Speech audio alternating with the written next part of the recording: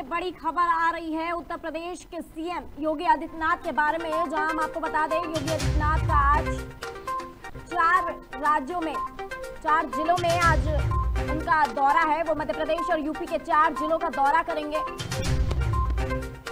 सबसे पहले वो गुना लोकसभा सीट में जाएँगे, जहाँ वो ज्योतिरादित्य सिंधिया के लिए प्रचार करेंगे। बता दें हम आपको, आज उत्तर प्रदेश के मुख्यमंत्री योगी आदित्यनाथ का चार जिलों में दौरा है। वो मध्य प्रदेश और यूपी के चार जिलों का दौरा करेंगे। सबसे पहले वो गुना जाएँगे, जहाँ वो भाजपा के प्रत्याशी ज्योतिरादित्य सिंधिया, जो एक केंद्रीय मंत्री भी हैं, उनके लिए वो प्रचार करेंगे। तो हम आपको बता रहे हैं, आज मुख्यमंत्री योगी आदित्यनाथ का कार्यक्रम दिन भर का कार्यक्रम बता रहे हैं, वो आज मध्य प्रदेश और यूपी के चार जिलों का दौरा करेंगे। गुना लोकसभा सीट में वो चुनावी रैली करेंगे, जहाँ वो बीजेपी प्रत्याशी ज्योतिरादित्य सिंधिया के लिए प्रचार करेंगे। 11 बजे वो गुना लोकसभा सीट पर पहुँचेंगे। डेढ़ बजे वो यूपी पहुँचेंगे, जहाँ वो उन्नाव में जनपद जाएँगे। तीन बजे वो फरुखाबाद लोकसभा सीट के लिए रवाना होंगे। वहाँ वो मुकेश राजपूत के पक्ष में जनसभा को संबोधित करेंगे।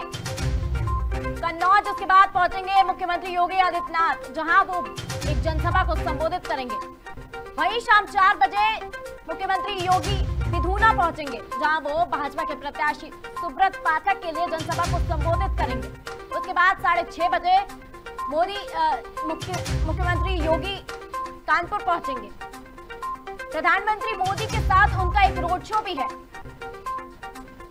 तो हम बड़ी खबर आपको आज बता रहे हैं कि आज मुख्यमंत्री योगी आदित्यनाथ का दिन भर का कार्यक्रम क्या रहेगा? मुख्यमंत्री योगी आदित्यनाथ मध्य प्रदेश और यूपी के चार जिलों का दौरा करेंगे। सबसे पहले वो गुना पहुँचेंगे, जहाँ वो ज्योतिरादित्य सिंधिया के लिए प्रचार करेंगे।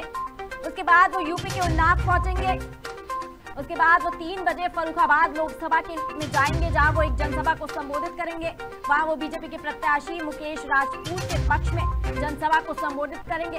इसके बाद मुख्यमंत्री योगी आदित्यनाथ कन्नौज जाएँगे।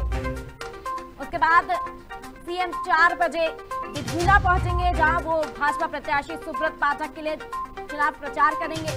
शाम साढ़े छह बजे वो कानपुर जाएँगे, जहाँ योगी का प्रधानमंत्री मोदी के साथ एक रोड शो है।